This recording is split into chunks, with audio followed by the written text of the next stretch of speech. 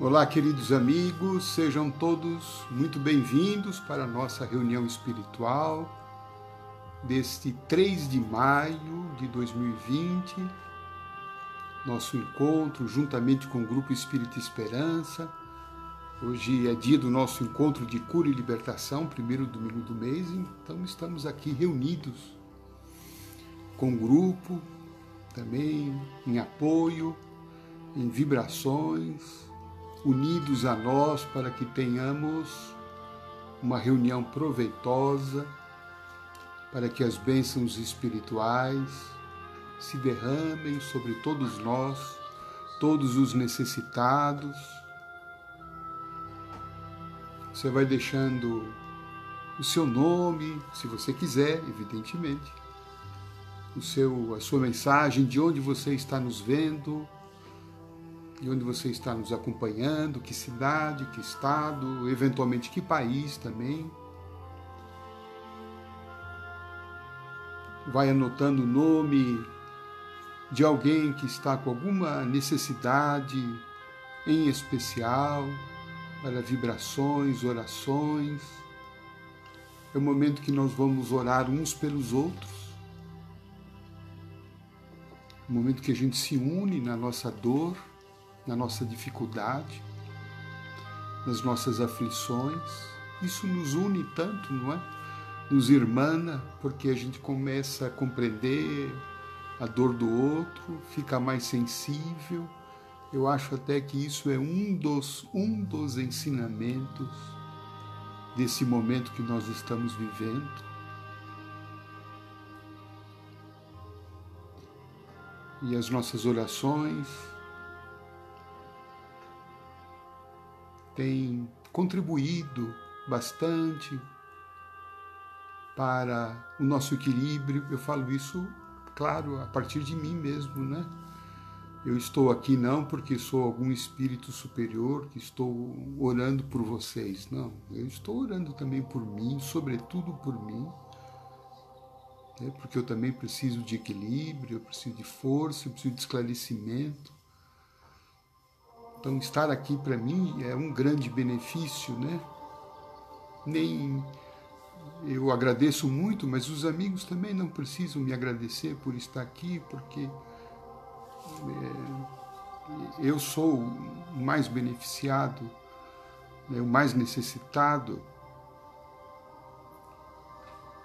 E a vibração amiga de vocês tem me feito muito bem, tem me dado forças, tem me estimulado, tem me, me dado tranquilidade. Então sou muito grato, né? sou eu que tenho que agradecer o carinho de todas as pessoas que têm participado das nossas reuniões. Sinceramente, peço muitas bênçãos a Deus e possa fortalecer a todos. Eu tenho certeza e eu creio nisto, né? Porque muitas pessoas têm dado testemunho de como elas estão se sentindo melhor, estão mais tranquilas, muitas estão encontrando curas, estão encontrando paz interior, estão encontrando fortalecimento, estão dormindo melhor, isto é o resultado, né? Não meu, mas são as respostas que Deus envia a todos nós. As respostas do seu amor. Então você vai deixando, eh, se quiser, pode deixar uma água para a sua eh, energização, a bênção da água ao final pelos espíritos do bem, pelas falanges de cura de Bezerra de Menezes, a qual vamos suplicar a Maria Santíssima, aos mensageiros do alto que possam, pelo princípio né, da misericórdia, da bênção, socorrerem a todos nós, colocando na água o remédio, nós estamos precisando, trazendo ao nosso lar paz interior, trazendo muito equilíbrio, né? a nossa fé, a nossa união, a paz dentro do lar, o cultivo da paciência, o fortalecimento da esperança.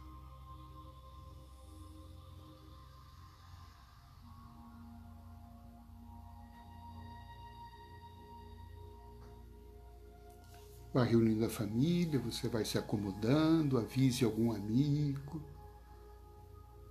Estamos aqui juntos, o Grupo Esperança também reunido conosco, temos lá em torno de 50 médios neste momento, cada um é, em seu lar, reunido também em sintonia conosco. Muitos estão aqui participando diretamente,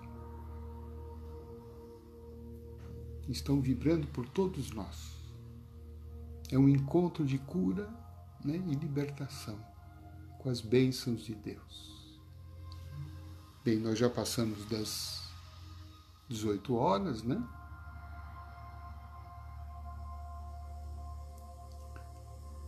Já estamos com quase mil pessoas aqui reunidas.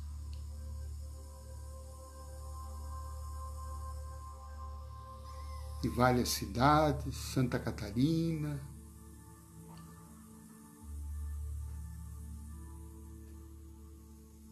São Paulo, Guarulhos,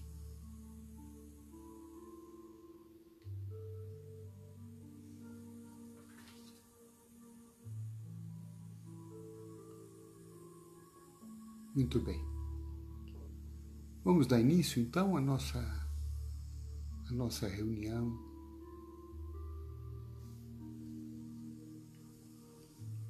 Vamos orar.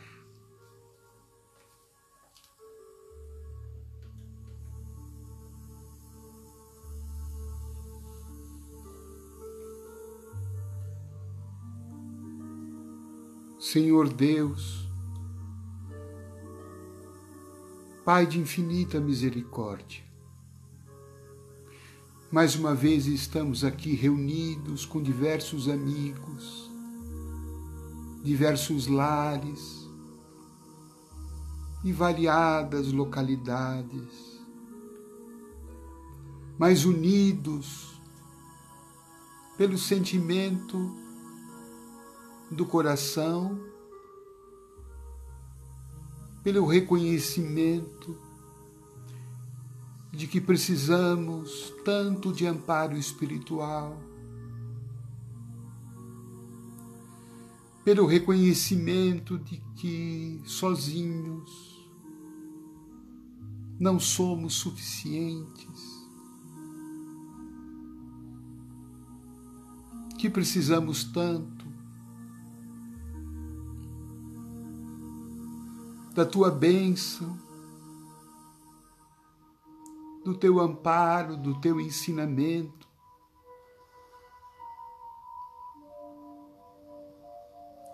Ainda como criancinhas espirituais que somos, precisamos, ó Pai, da tua presença. Uma presença que muitas vezes nós negamos em muitas circunstâncias da nossa vida quando tudo estava bem, nós te esquecemos. Quando estávamos conquistando todos os nossos desejos materiais, nós, muitas vezes, não te agradecemos.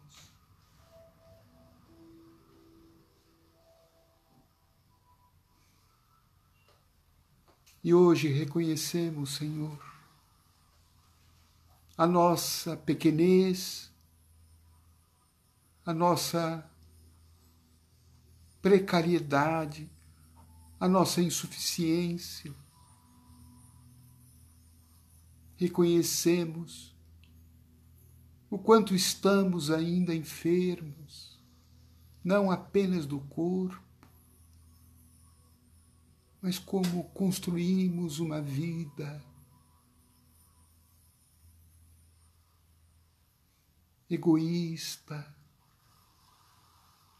pequena, estreita.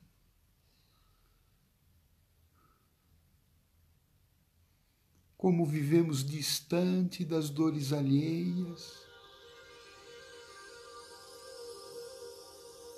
E hoje a dor vem bater a nossa porta.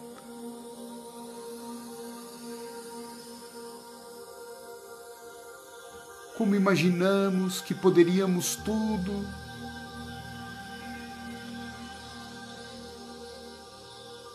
que tudo conseguiríamos por nossas próprias forças.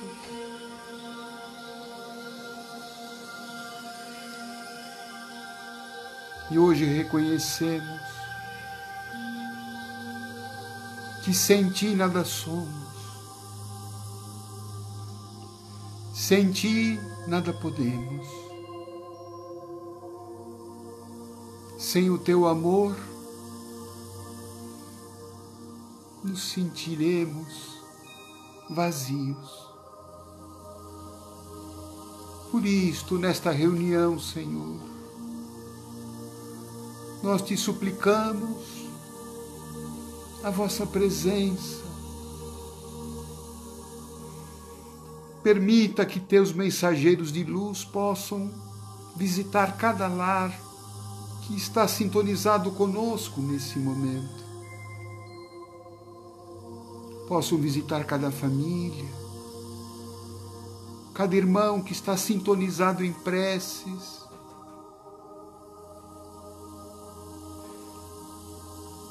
cada lar que está nesse momento de portas abertas, Senhor. E é isso que nós estamos fazendo. Estamos abrindo as portas do nosso lar para que o Senhor esteja conosco. O Senhor está no meio de nós, mas nem sempre o convidamos a estar conosco e muitos ainda hoje, Senhor, ainda não fazem. Mas estamos aqui, Senhor, reconhecidos, de joelhos em espírito. Vós bem sabe haver tanta dor no mundo, tanta aflição, Não nos deixe, Senhor, sucumbir ante as dores e dificuldades.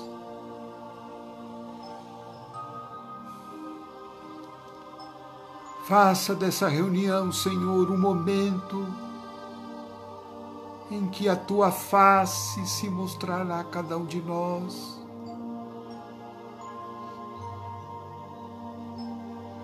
Em que sentiremos seu amor nos aquecendo as suas mãos nos protegendo e as suas verdades nos esclarecendo. Porque sabemos que o Senhor é um Pai de amor, não é um carrasco vingador, é um distribuidor de bênçãos. E é isso que te pedimos nessa noite, Senhor distribui as vossas bênçãos. Sabemos que isto acontece, mas te pedimos que estejamos receptivos a elas.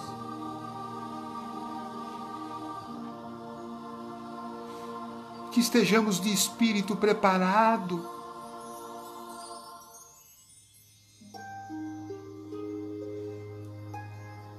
que estejamos humildes, de coração aberto, a nos tornarmos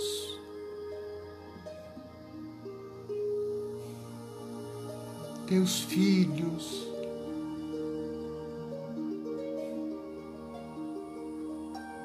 Que não apenas pedem, imploram, mas aqueles que querem viver segundo a sua vontade, segundo as tuas leis divinas soberanas.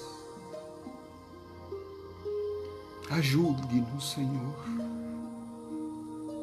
ajude-nos nesta noite. E invocando a oração que Jesus nos ensinou, vamos todos dizendo: Pai nosso, que estais nos céus, santificado seja o vosso nome, venha a nós o vosso reino Seja feita a vossa vontade, assim na terra como no céu. O pão nosso de cada dia nos dai hoje, nos dai em nossa reunião. Perdoa as nossas ofensas, assim como nós perdoamos a quem nos tem ofendido. Não nos deixeis cairmos ante as tentações. Livra-nos, Senhor, de todos os males, porque Teu é o reino, o poder e a glória para todos sempre. Graças a Deus.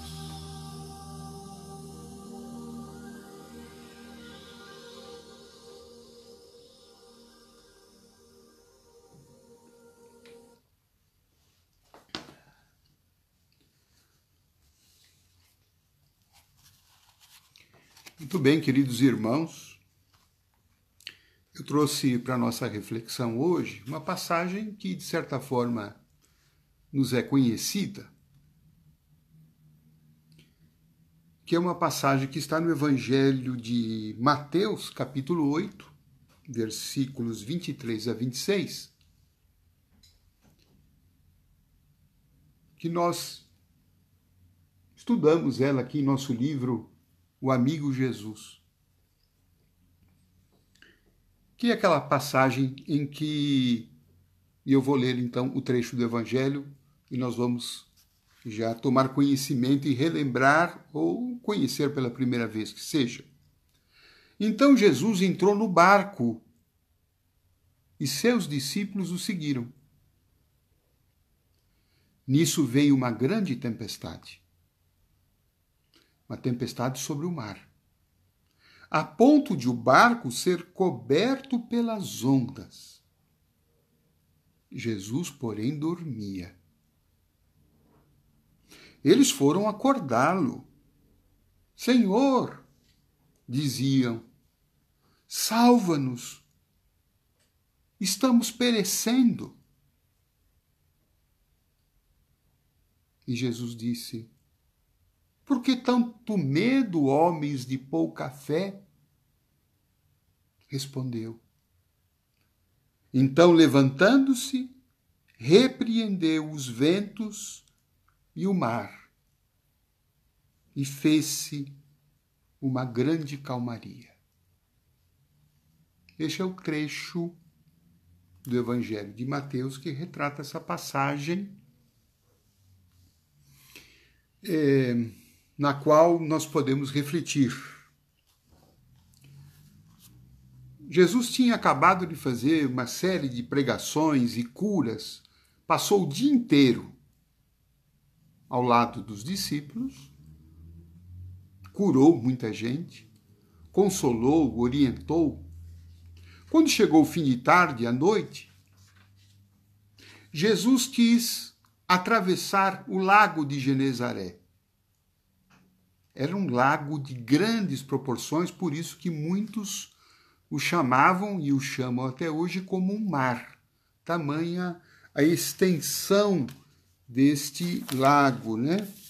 É, é um lago que tem aproximadamente 19 quilômetros de comprimento, por isso que muitos o chamam de o Mar da Galileia. Então Jesus queria até a outra margem do lago. Ele entra no barco e chama os discípulos. Venham comigo.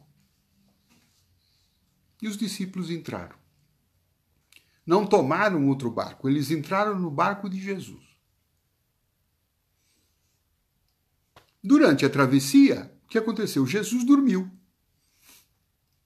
Devia estar cansado. Ficou o dia inteiro pregando, curando, consolando, orientando, Jesus adormeceu. E no meio da travessia, já era noite. Diz o Evangelho que surgiu uma grande tempestade e o mar ficou muito agitado a ponto de o barco ser coberto pelas ondas. Então nós podemos imaginar ondas muito grandes que encobriam o próprio barco e nós podemos então avaliar é, o quanto que isto, né, a situação ali era uma situação de perigo, né, era uma situação de preocupação.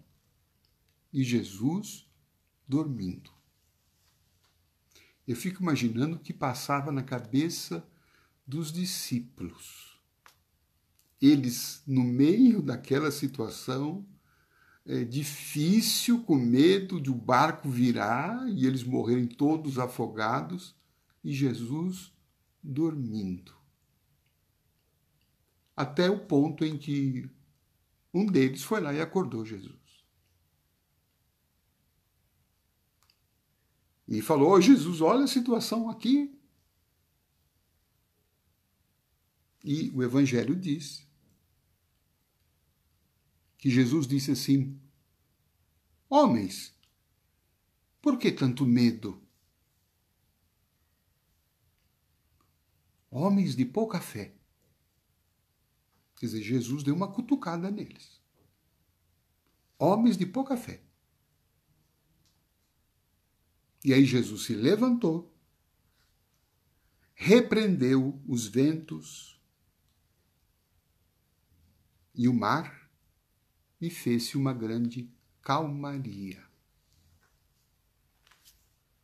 O que, que a gente pode aprender com essa lição, né? As palavras de Jesus são palavras é, eternas, não é?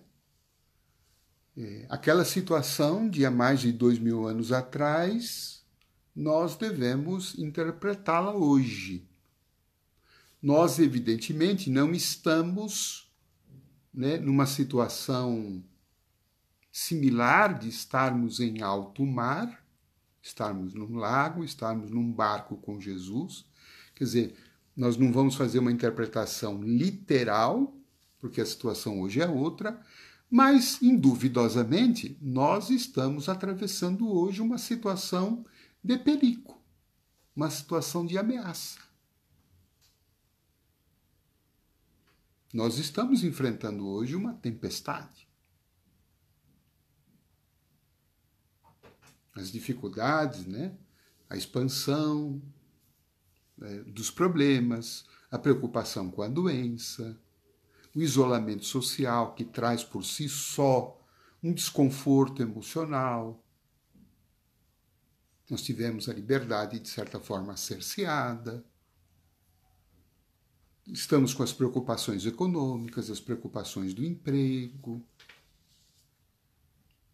Né? Estamos sentindo, de fato, que pode ser que o barco da nossa vida também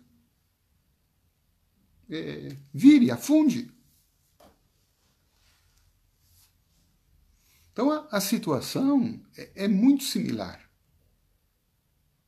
Né? A situação é muito, muito própria. Por isso que esse ensinamento de Jesus ele é atual, ele é para os dias de hoje. As palavras de Jesus são para sempre, são palavras de eternidade, porque ele era o Espírito, ele é o Espírito mais sábio, mais perfeito, mais puro que, que esteve por aqui e continua por aqui. Isso, isso que é bom que se pense sempre, né? Jesus é, na ótica do Espiritismo, o, o governador planetário. E ele está no barco da nossa vida. Que bom que os discípulos estavam no, entraram no barco com ele, né? Que na hora da dor eles não tiveram condições, se sentiram impotentes, incapazes, ficaram tomados pelo medo e acordaram Jesus. É interessante esse detalhe de que Jesus estava dormindo. Não é? Às vezes a gente acha que hoje também Jesus continua dormindo, né? Quando nós estamos passando por muitas dificuldades, a gente ora, parece que a situação não se muda e a gente fala, né, Jesus, se esqueceu de mim? Jesus acho que nem sabe que eu sou. Jesus virou as costas para mim. E a gente se sente, então, é, é desamparado.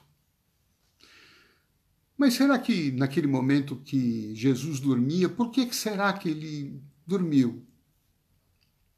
É muito provável, se não certo, que Jesus pressentia, sabia que viria uma grande tempestade. O espírito dele enxergava longe.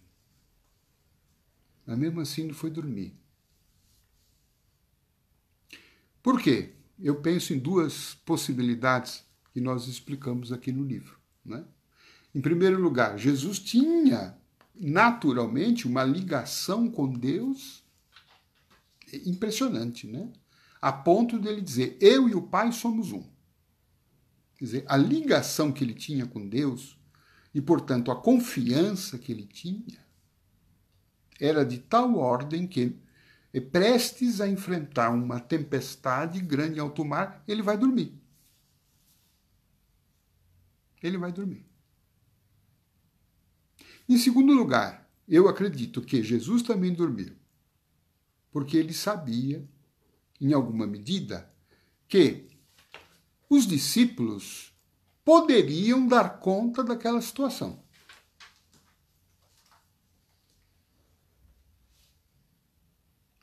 Vamos imaginar e vamos pensar que naquele dia, durante o dia, os discípulos passaram o dia inteiro com, com Jesus e viram tantas curas que ele realizou, Quanta coisa, quantas belezas espirituais. Quer dizer, eles viram milagres, mas isto não mexeu com a fé deles. É muito interessante essa nossa condição humana, né? E Jesus então dormia porque em certa medida, ele acreditava que os discípulos, por tudo aquilo que eles ouviram falar de Jesus, por todas as lições que eles viram naquele dia, eles teriam desenvolvido uma fé mais madura. Mas isso não aconteceu. Eles ficaram tão aflitos que foram lá e acordaram Jesus. E quando acordaram Jesus, o mestre disse para eles o seguinte: eu vou repetir aqui. Por que tanto medo? Homens de pouca fé. E eu sinto que essa pergunta de Jesus hoje está chegando a todos nós.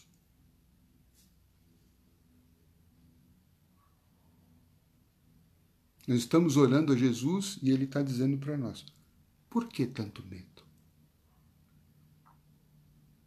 Homens de pouca fé. Claro que o medo é uma emoção humana que é razoável que se sinta. Até aí tudo bem. O problema é que por que tanto medo? Nós vamos sentir medo? Vamos.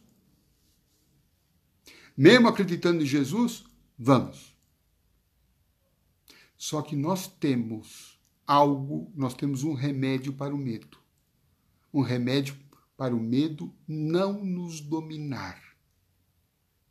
E qual é esse remédio?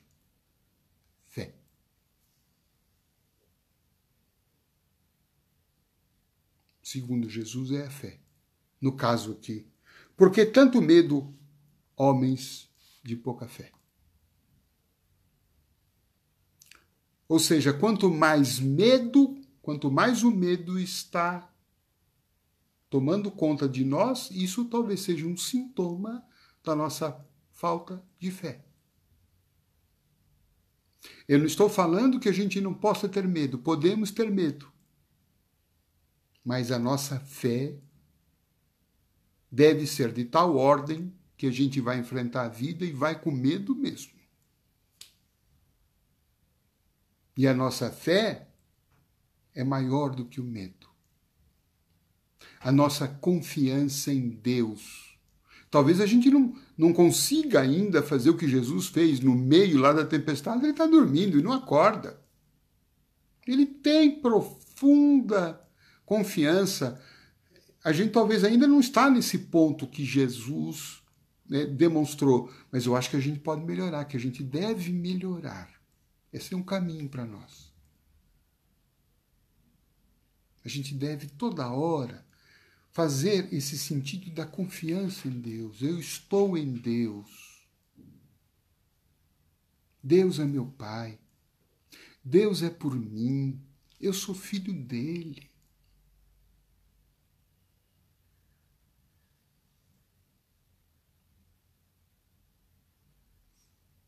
E eu não vou deixar que esse medo, eu não vou deixar que o desespero tome conta de mim. Porque eu tenho um pai. E não só um pai. É muito importante que a gente pense nisso, porque onde está esse Deus? Está lá no céu, distante da gente? Que parece que perdeu o avião e está Está demorando para chegar? Onde está esse Deus? E aí Jesus traz uma, uma informação que é revolucionária, que eu acho que até hoje a gente ainda não pescou isso, não captou. Esse Deus não está fora. Esse Deus está dentro de cada um de nós. Que coisa fantástica isto. O Deus interior.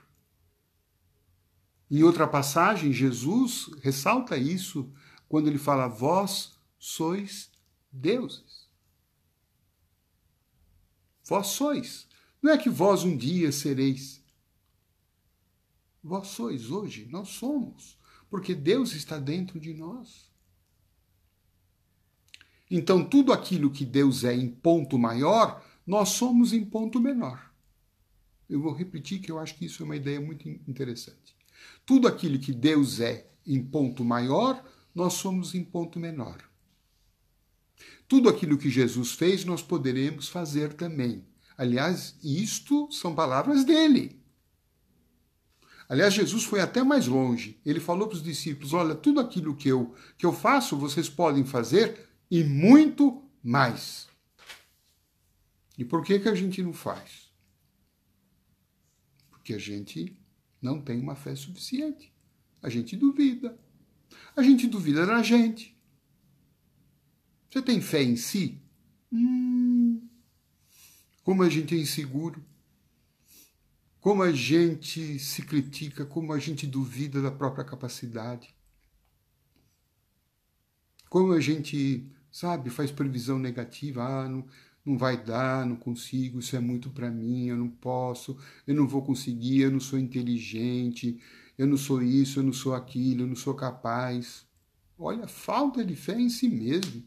Como é que esse Deus que eu quero que me ajude, esse Deus que Jesus falou, a Deus nada é impossível, esse Deus, como é, como é que ele vai me ajudar?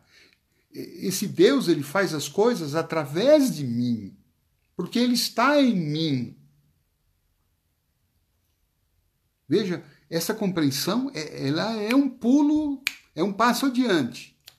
Quer dizer, não é um Deus que está lá fora que vai vir aqui, tá mexer em alguma coisinha. Não, é um Deus que já está aqui dentro de mim. Já está aqui e vai agir através de mim. De tal forma que quando eu nego, quando eu vacilo, quando eu não acredito, quando eu não creio, eu estou bloqueando a atuação divina em mim. Quantas curas que Jesus fez e ao final delas ele falava para o curado: A tua fé te salvou. A tua fé. Quer dizer, ela deixou que o Deus dentro dela,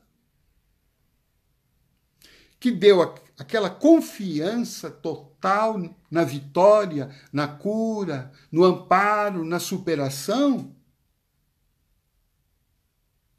E, e esta fé foi de tal forma que esse Deus interior alcançou o resultado.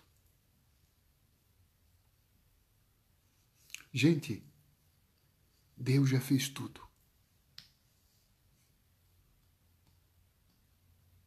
E está tudo dentro de nós. E Ele precisa atuar por nós. Por isso que Jesus fala assim: homens de pouca fé. Por que tanto medo? Vocês não viram hoje, o dia inteiro, quantas curas Deus fez através de mim?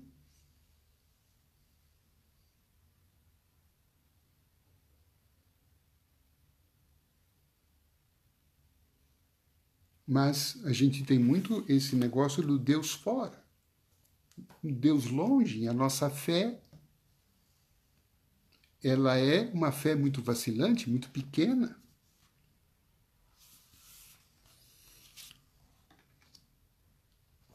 No Evangelho segundo o Espiritismo, no capítulo 19, Allan Kardec faz algumas pequenas observações sobre a fé que eu gostaria de compartilhar com vocês.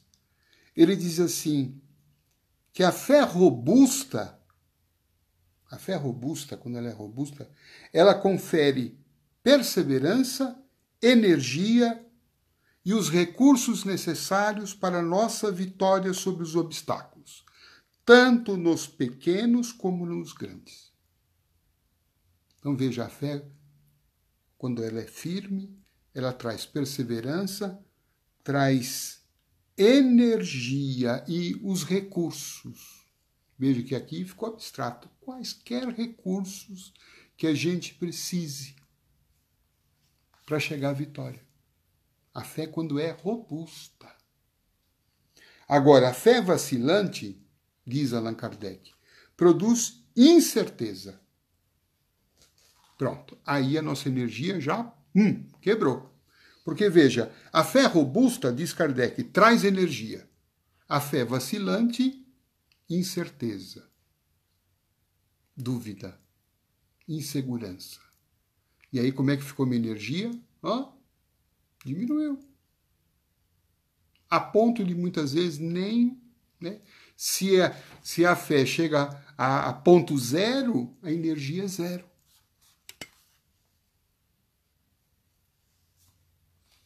Então a fé vacilante, ela traz incerteza, hesitação,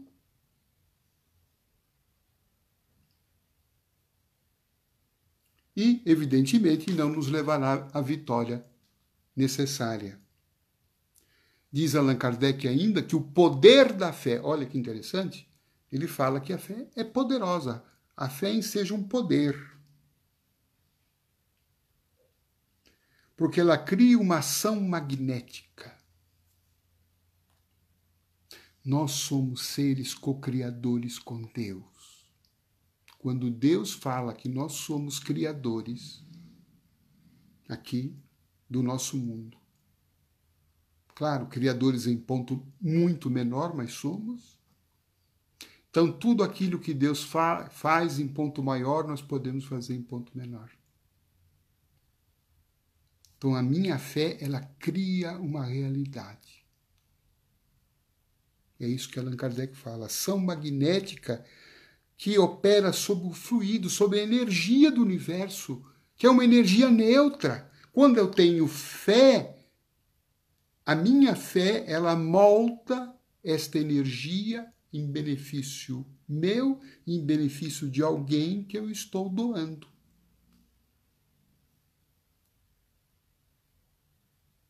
Abre caminhos, cura enfermidades, cicatriza feridas, desmaterializa tumores. Isto são. Não estou falando mais de coisas teóricas, são coisas concretas, verdadeiras. E aí finaliza só, queria só lembrar um trechinho de uma passagem aqui também do Evangelho, quando ele, Jesus diz assim: Na verdade, se tiverdes fé como um grão de mostarda, direis a este monte: passa daqui para colar, e ele há de passar, e nada vos será impossível. Olha que Jesus fala. Se a nossa fé fosse do tamanho de um grão de mostarda, vocês já viram um grão de mostarda, gente? Ele é um negocinho assim, ridículo de pequeno. Dá uma pesquisada depois na internet. Pesquise e veja uma foto do grão de mostarda. Jesus fala: se a nossa fé fosse o tamanho desse grão, veja que Jesus não está pedindo para a gente ter uma fé igual a dele. Mas bastava que a nossa fé fosse do tamanho de um grão de mostarda, nós teríamos produzindo muitas maravilhas na nossa vida. Então, vamos arrimar na fé, né? Aliás, Gilberto Gil tem uma música fantástica, né? Andar com fé. Andar com fé eu vou, porque a fé não costuma falhar. Andar com fé eu vou, porque a fé não costuma falhar.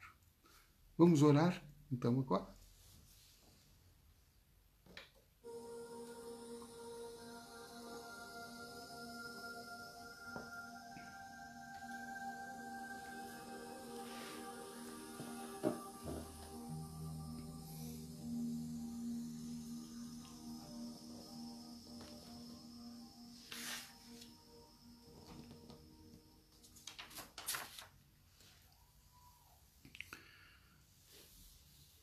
Querido amigo Jesus,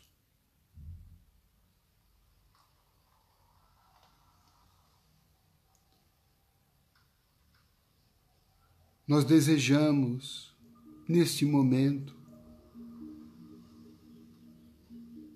entrar no seu barco.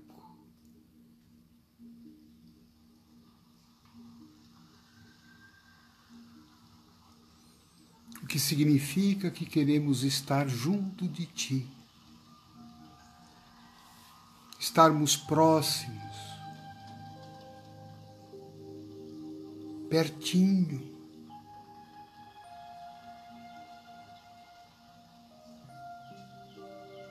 Queremos sentir a Tua presença,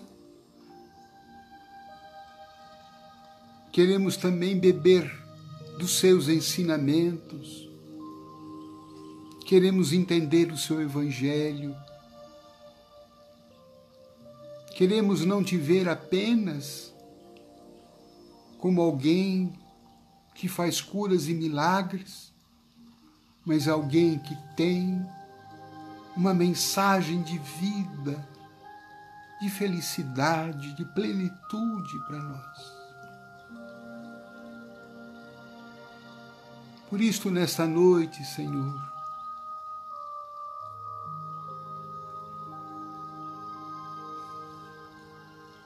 sentimos que o seu barco vem até nós. O Senhor vem nos visitar em nossos lares. Entra em nossa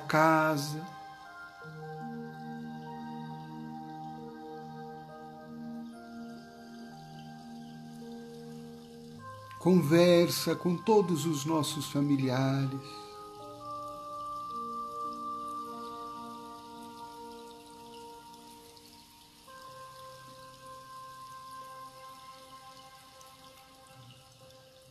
Fala das suas lições sobre o amor,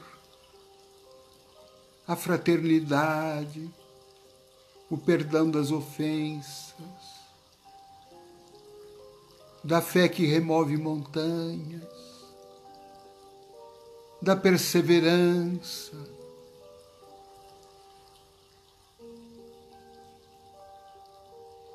da bondade de Deus. E nós ouvimos o Senhor falar sobre isto em nosso lar. Como nos tempos da Galileia, em que o Senhor falava das bem-aventuranças em plena natureza. Hoje te ouvimos em nosso lar e ficamos magnetizados pela Sua palavra, pelo seu amor.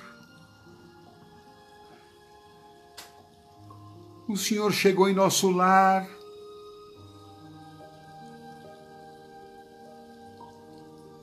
Apesar dos nossos erros e defeitos, o Senhor entrou sem fazer qualquer sermão, acusação. O Senhor olhou a todos com bondade.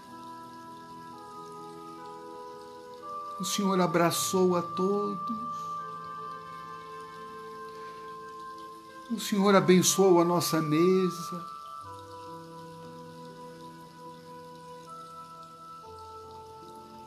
O Senhor transformou a água em remédio.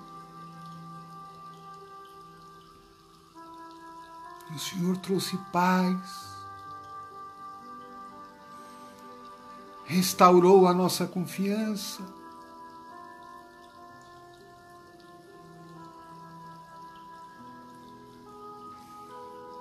Deu-nos um sentido de vida que outro não é senão amar.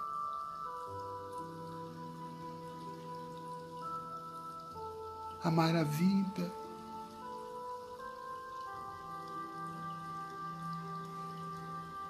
Construir um mundo melhor a partir de mim mesmo.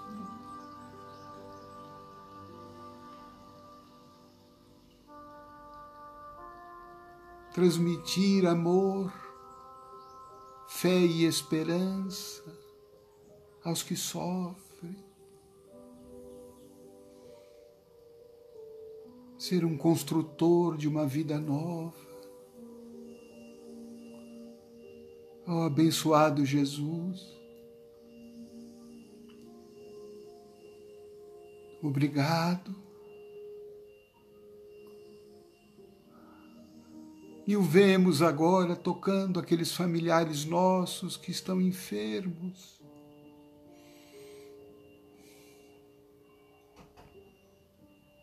Um gesto simples, um olhar profundo, ele acolhe e tranquiliza me traz paz, alívio e a cura. Traz alegria, alegria.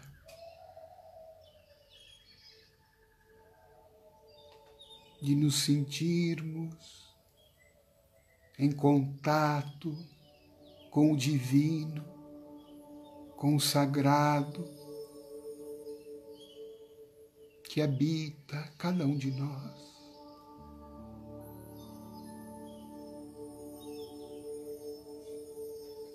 Agora Jesus nos pede para visitarmos outros lares. A nossa fé, a nossa oração não pode ser egoísta. Porque Jesus agora, deixando bênçãos em nosso lar, Ele vai visitar aqueles lares que estão em condições difíceis.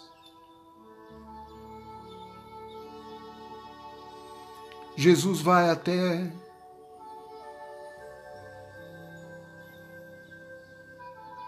os lares onde falta o pão,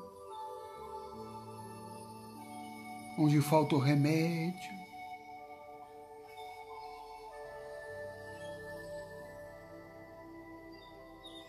onde falta o trabalho.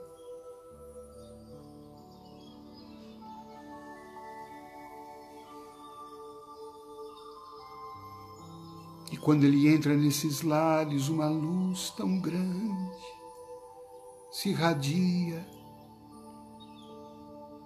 E nós acompanhando essa caravana com Cristo,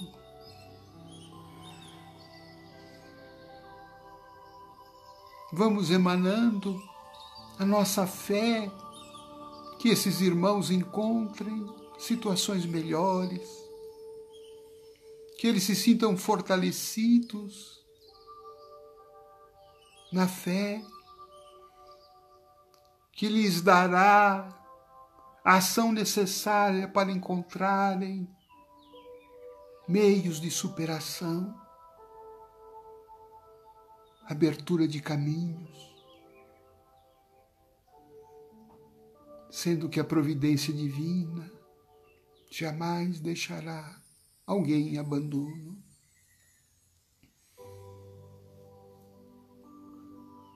Com Jesus vamos agora aqueles que não têm o lar, embora nas ruas, debaixo de pontes, viadutos, becos, que estão nas esquinas, nas sarjetas. E uma caravana de anjos se aproxima junto com Jesus. Nós nunca vimos tanta luz, porque quanto maior a dor, maior o socorro do alto.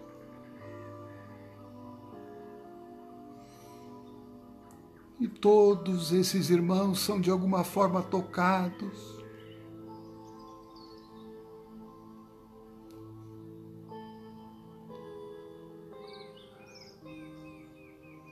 Todos recebem uma boa energia.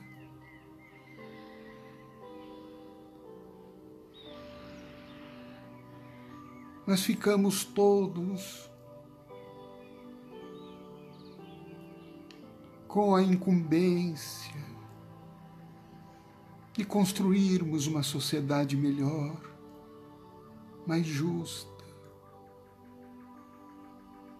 Não haja tantas desigualdades, tanta miséria.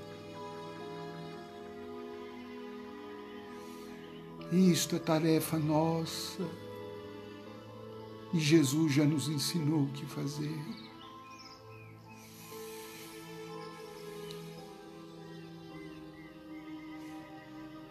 Por que é que o vírus ainda está entre nós?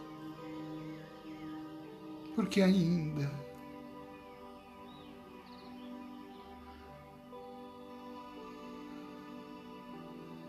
encontrou campo no nosso individualismo, no nosso egoísmo, na nossa indiferença.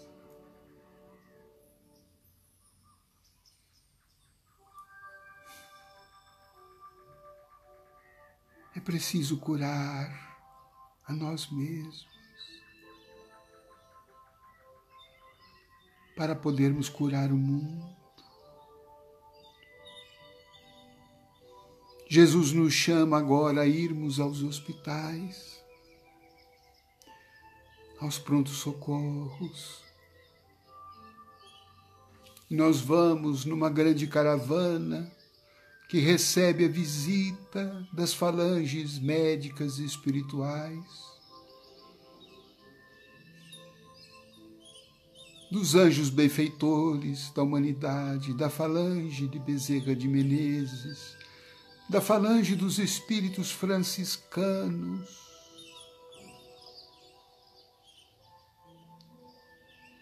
que entram com Jesus, Francisco, entra com Jesus nos hospitais.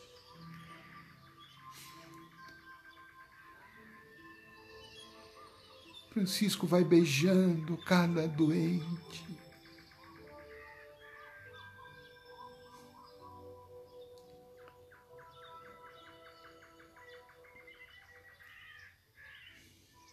Vai abraçando.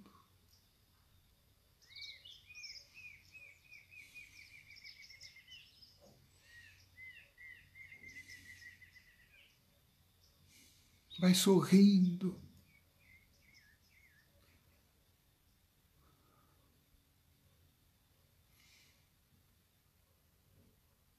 vai trazendo a paz de Jesus e a fé. Esta fé que, que agora ilumina todas as células do corpo, todos os órgãos, levando ao equilíbrio levando a cura.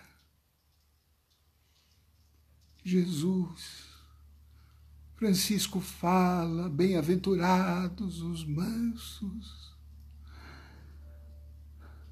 Assim como Francisco conversava com os pássaros, ele fala hoje aos nossos órgãos.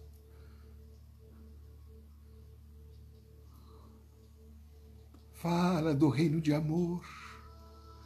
Fala do equilíbrio, fala de como é bom amar, melhor do que ser amado, fala da esperança, fala que a irmã dor está nos ensinando a humildade, que a irmã doença está nos curando o espírito envolvido apenas em si mesmo. A doença está nos abrindo para as dimensões maiores da vida. A vida não é ter apenas, não é ostentar, não é acumular. A vida é amar. Amém, filhos.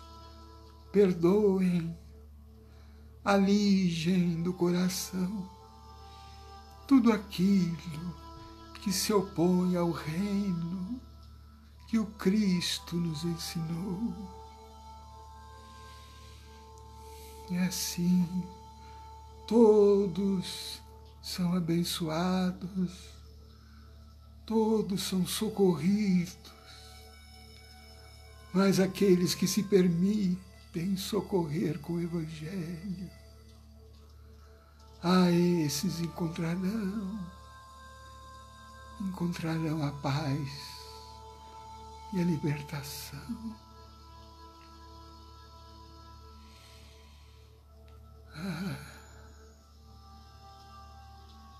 Todos são iluminados, os nomes são registrados pelas equipes espirituais.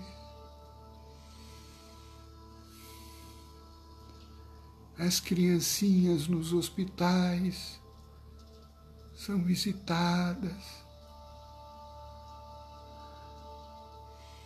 as nossas águas são abençoadas. Os vossos nomes estão sob o olhar divino.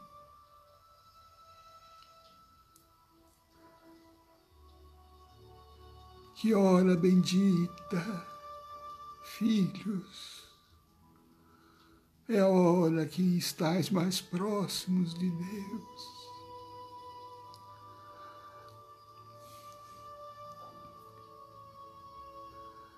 A dor é a bênção que vos envia o Pai Todo-Poderoso. Sabei aproveitar os frutos deste momento. Eles, se bem aproveitados, os levarão a conquistas maiores do Espírito. Louvado seja Deus, filhos amados. Louvado seja Pai Francisco. A bênção de nossa Mãe Maria Santíssima. Ave Maria, cheia de graça o Senhor é convosco. Bendita sois vós entre as mulheres. Bendito é o fruto do vosso ventre, Jesus. Santa Maria, Mãe de Jesus, Mãe de todos nós, rogai por nós, pecadores, Rogai por todos os nomes escritos aqui nas redes sociais. Rogai por Joyce Cristina da Silva, Hospital Cruz Azul. Por Glaucio Silva Gomes e família, São Luís do Maranhão. Por Catarina Jansen Marim, Hospital Alvorada, por Antonieta Baroni. E por todos os irmãos que derramam lágrimas. A fé transformará as lágrimas em luzes em nossa alma. Assim seja, filhos amados. Louvado seja nosso Senhor Jesus. Graças a Deus.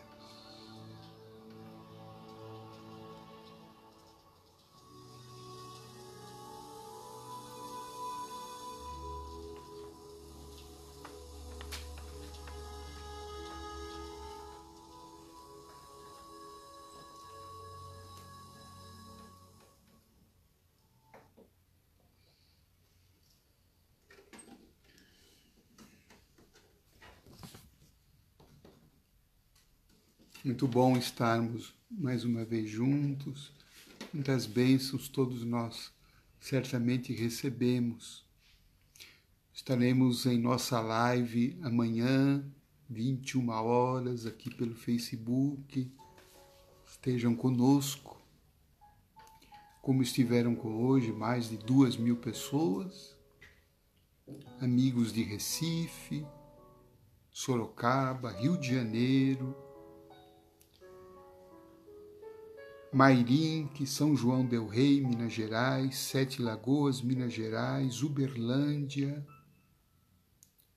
Timóteo, Belém do Pará, Jundiaí, Porto Alegre, Taubaté, Ubatuba, Aracaju, Atibaia, Araçoiaba da Serra, Passo Fundo, Rio Grande do Sul, Maringá, Paraná, são Bernardo do Campo, São Paulo, Osasco, eh, Bahia e o Muarama, no Paraná, e tantas outras cidades que não deu para anotar todas. Mas sintam-se todos abraçados, irmãos queridos do Grupo Esperança que estiveram conosco. Estamos ouvindo aqui Elizabeth Lacerda cantando A Barca.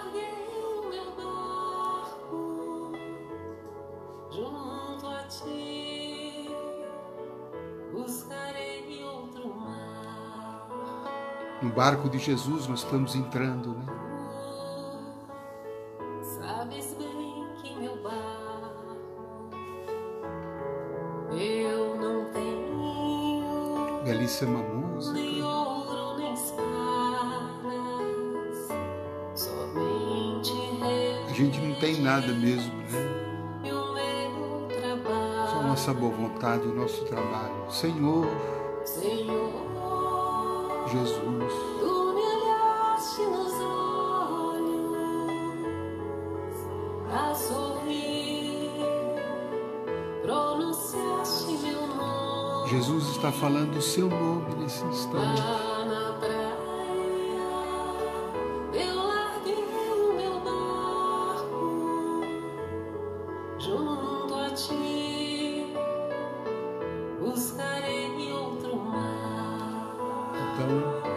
Oração, com essa música, nós pedimos a permissão para encerrar a nossa reunião de hoje, desejando paz profunda a todos, bênçãos infinitas e até o nosso próximo encontro, amanhã, 21 horas, aqui pelo Facebook.